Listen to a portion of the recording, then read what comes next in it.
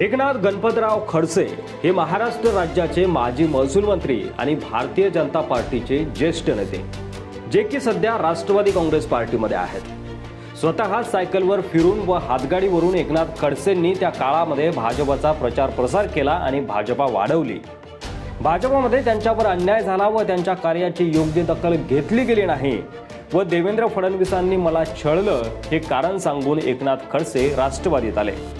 फक्त राष्ट्रवादीत आले नाही तर चॅलेंज करून आले की माझी ताकद काय आहे हे मी आता तुम्हाला दाखवतो. नाथाभाऊची ताकद काय आहे हे खऱ्या अर्थानं दाखवून दिलं तर मी जळगावला आपल्याला बोलवणार आहे. आत्ताच आमंत्रण देतोय. ते मुक्ताईनगरला राहतात. त्यांच्या वडिलांचे नाव गणपतराव खडसे व आईचे नाव गोदावरीबाई गणपतराव खडसे असे आहे. त्यांना दोन मुले आहेत शारदा आणि रोहिणी. त्यांची सून रक्षा खडसे रावेर लोकसभा मतदारसंघातून लोकसभेत खासदार आहेत. त्यांना एक मुलगा देखील होता निखिल खडसे ज्याने की एक मे दोन हजार तेरा रोजी आत्महत्या केली.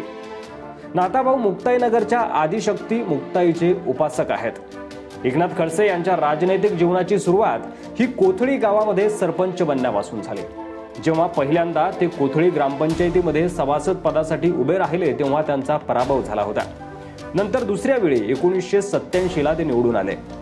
एकोणीसशे एकोणनव्वदमध्ये ते मुक्ताईनगर तालुक्यातून विधानसभेसाठी निवडणुकीसाठी उभे राहिले आणि जिंकून आले.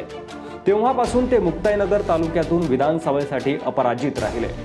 एकोणीसशे पंच्याण्णव ते एकोणीसशे नव्याण्णवच्या काळात भाजपा शिवसेना सरकारमध्ये एकनाथ खडसे हे पाटबंधारे व अर्थमंत्री राहिले. दोन हजार नऊमध्ये एकनाथ खडसेंची महाराष्ट्र विधानसभेत विरोधी पक्षनेतेपदी निवड झाली. दोन हजार चौदामध्ये नरेंद्र मोदींच्या लाटेवर भाजपा निवडून आली. तेव्हा एकनाथ खडसे हे मुख्यमंत्री पदाचे खरे दावेदार होते परंतु देवेंद्र फडणवीस यांची मुख्यमंत्रीपदी वर्णी लागली. देवेंद्र फडणवीस यांच्या मंत्रिमंडळामध्ये एकनाथ खडसे हे महाराष्ट्राचे महसूल मंत्री कृषी मंत्री राज्य उत्पादन शुल्क मंत्री असे एकूण बारा खात्याचे मंत्री झाले. मात्र दोन हजार सोळामध्ये एकनाथ खडसेंवर भ्रष्टाचाराचे आरोप झाल्यामुळे त्यांना राजीनामा द्यावा लागला. ते भाजपमधील नेत्यांचं षडयंत्र होतं असं देखील बोललं गेलं. दोन हजार एकोणीसच्या महाराष्ट्र विधानसभा निवडणुकीसाठी भारतीय जनता पक्षाकडून एकनाथ खडसेंना उमेदवारी नाकारण्यात आली. त्यांच्याऐवजी त्यांची कन्या रोहिणी खडसे यांना भाजपनं तिकीट दिलं.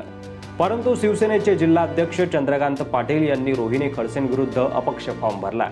त्यांना राष्ट्रवादी काँग्रेस पार्टीनं पाठिंबा दिला व चंद्रकांत पाटील यांनी रोहिणी खडसे यांचा पराभव केला आणि पहिल्यांदा खडसेंचा मुक्ताईनगर हा बालेकिल्ला खडसेंच्या हातून निसटला. गिरीश महाजन व देवेंद्र फडणवीस यांच्यामुळेच आपलं तिकीट कापलं गेलं असा खळबळजनक आरोप देखील एकनाथ खडसे यांनी केला. आपली राजकीय कारकीर्द संपवण्याचा कट रचला गेला असंही एकनाथ खडसे म्हणाले.